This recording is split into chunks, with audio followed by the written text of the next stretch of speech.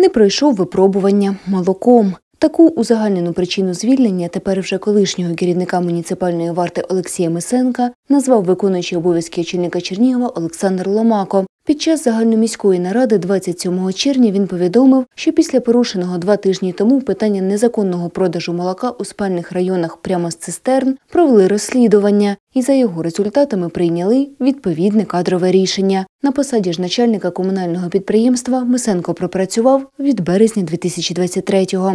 Я хотів нагадати всім керівникам там, і парковка і ринок, і муніципальна варта, і всіх, хто за це відповідає, що наша політика була сформована чітко, коли міським головою обрали Владислава Трошенка у 2015 році, що Чернігів буде позбуватися мафів в центральній частині міста, на червоних лініях, ну і в принципі там, де вони не потрібні, з яких торгували чим треба, чим не треба.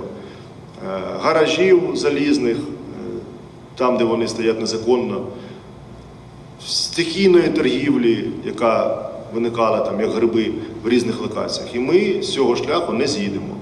Тому комісія, яка по тимчасовій торгівлі, скажімо так, вона має шукати баланс між тим, що треба підтримувати і підприємництво, але в першу чергу треба зберігати обличчя міста. І ми не допустимо того, щоб в Чернігові на вулицях, в спальних мікрорайонах чи в інших з цистерн продавали молоко, пиво там чи ще що захочуть.